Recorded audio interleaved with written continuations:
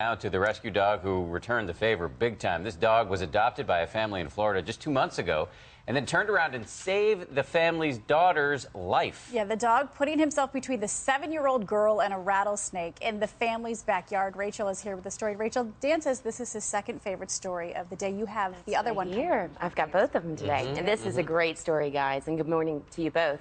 Now, this two year old German Shepherd took to his new family immediately, but little did they know their rescue dog would come to the rescue of one of their children.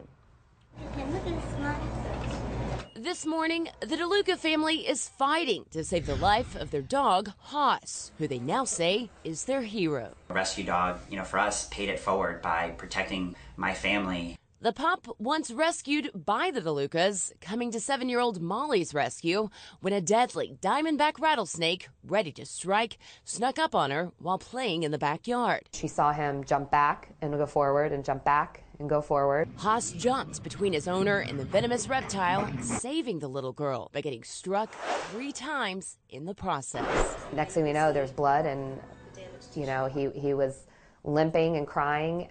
The lucky child by her hero dog's side as he underwent emergency treatment, receiving anti venom four times a day for four days. Is his leg getting any better? The DeLuca's GoFundMe page has raised over $50,000 in donations to pay for Haus's steep medical bills. They're sweet and kind of nice because they're caring about Haus. And the family says he is now on the mend. I'm doing everything I can. I feel like I owe it to him to keep trying to save him.